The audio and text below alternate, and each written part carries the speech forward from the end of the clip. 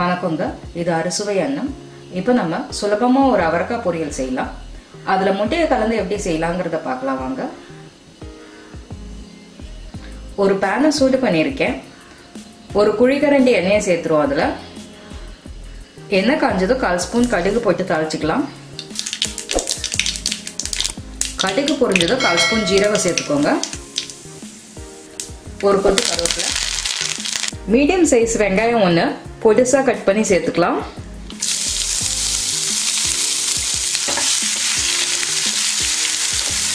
வெங்காயம் நல்லா வதங்கணுங்கிற அவசியம் இல்லை. கண்ணாடி மாதிரி டிரான்ஸ்பரண்ட்டாக இருந்தால் போதும். மீடியம் சைஸ் தக்காளியில் பாதியை கட் பண்ணி சேர்த்துக்கோங்க.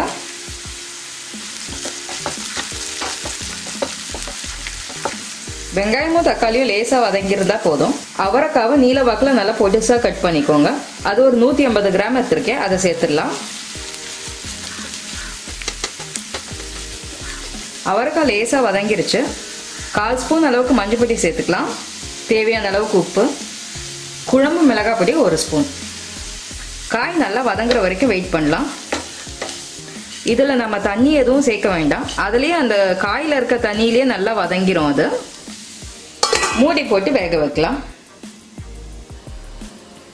பத்து நிமிஷமாக நல்லா வதங்கிட்டு இருக்கு இந்த பத்து நிமிஷத்தில் நடுப்புற நடுப்புற நீங்கள் எடுத்து கலரி விட்டுக்கோங்க. நல்லா வதங்கிருச்சு காய். எந்த தண்ணியுமே நம்ம சேர்க்கல. அந்த காயில் இருந்த தண்ணி ப்ளஸ் அந்த எண்ணெய் அதோடையே தான் நல்லா வதங்கிருச்சு. இப்போ நம்ம இதில் முட்டையை சேர்த்துருவோம். இது எல்லாத்தையும் ஒரு ஓரமாக தள்ளி வச்சிருவோம். இந்த பக்கமாக ரெண்டு முட்டையை உடச்சி ஊற்றிக்கோங்க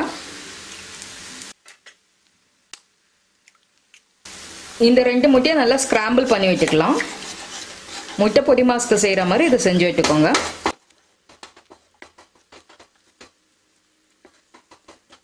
இந்த காயோடையே இந்த முட்டையை உடச்சி ஊற்றலாம் ஆனால் வந்து அது ரொம்ப ஸ்மெல்லு வரும்.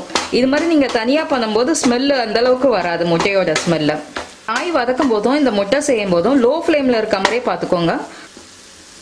நல்லா ஸ்கிராம்பிள் டேக்கு கிடச்சிருச்சு. இப்போ இந்த காயோட நல்லா கலந்து விட்டுருவோம்.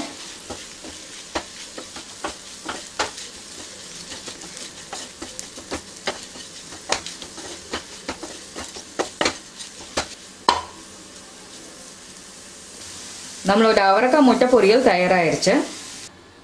சுலபமான அவரக்காய் முட்டை பொரியல் பரிமாற தயாராயிருச்சு. இதை உங்கள் வீட்டில் நீங்களும் ட்ரை பண்ணி பாருங்கள்